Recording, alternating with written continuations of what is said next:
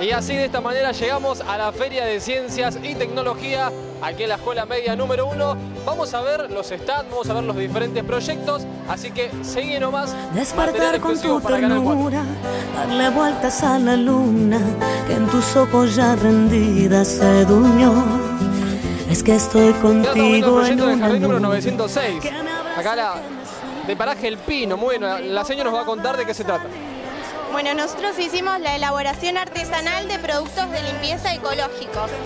La idea del proyecto era disminuir la contaminación de los productos que se elaboran con muchos químicos, los que se van a comprar de uso cotidiano. Entonces los elaboramos con ingredientes naturales y con las cosas que se encuentran en la casa. Estas recetas las mandaron las familias. Nosotros hicimos un registro de, las fami- de las recetas que mandaron ellos y los nenes las seleccionaron. A partir de esa selección empezó el proceso de elaboración. Y acá está el resultado, que son los productos elaborados.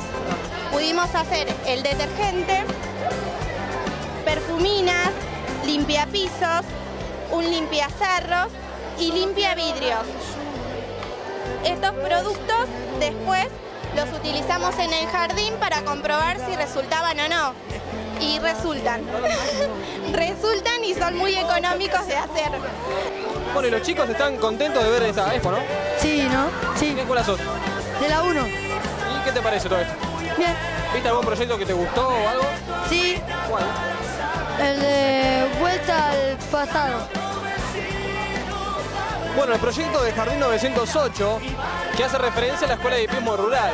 El jardín del barrio 22 de febrero, como vemos en, en la imagen, eh, allí donde hemos estado compartiendo también a través de la pantalla de Canal 4 lo que han realizado, ¿no? Muestra de alguna otra manera las ideas, el trabajo que se realiza en la Escuela de Hipismo Rural, que es la Escuela de Hipismo Magdalena.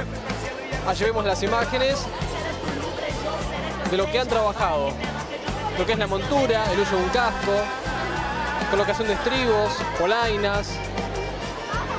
Se han visto los espacios de la Escuela de Hipismo Rural, los establos o caballerizas, la copia de alimento, la zona de equitación, que es muy importante también, la clase de equinoterapia, la clase de equitación.